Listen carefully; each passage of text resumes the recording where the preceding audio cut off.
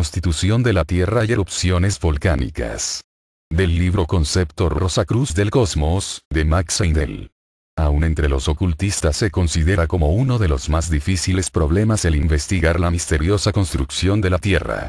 Todo ocultista sabe que es mucho más fácil investigar el mundo del deseo y la región del pensamiento abstracto y traer los resultados de dicha investigación al mundo físico, que el investigar completamente los secretos de nuestro planeta físico, porque para hacer eso plenamente, debe uno haber pasado por las nueve iniciaciones o misterios menores y la primera de las grandes iniciaciones.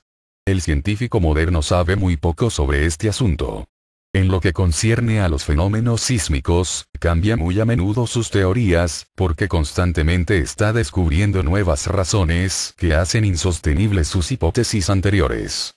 Han investigado, con su minucioso y espléndido cuidado, la costra externa, pero solo hasta una profundidad insignificante.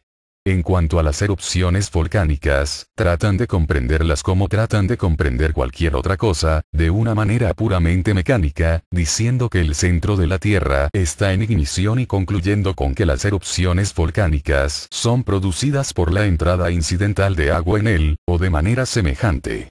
En cierto sentido, sus teorías tienen alguna base, pero en este caso siempre dejando a un lado las causas espirituales, que son para el ocultista las únicas reales. Para él, el mundo está muy lejos de ser una cosa muerta. Por el contrario, todo está compenetrado por el espíritu, que es la palanca que produce los cambios en y sobre el planeta. Las diferentes clases de cuarzos, los metales, la disposición de los varios estratos, todo tiene un significado mucho mayor que lo que el investigador materialista puede comprender. Para el ocultista, la forma en que están colocados es sumamente significativa. En esta materia como en cualquier otra, la ciencia oculta está frente a la ciencia moderna en la misma relación que la fisiología frente a la anatomía. La anatomía indica minuciosamente la posición de cada hueso, músculo, ligamento, nervio, etc., sus posiciones relativas de unos con otros, y así sucesivamente, pero no da explicación alguna respecto a cómo funcionan las diferentes partes de que está compuesto el cuerpo. La fisiología, por otra parte, no solamente indica la posición y estructura de todas las partes del cuerpo, sino que también indica su empleo y funcionamiento.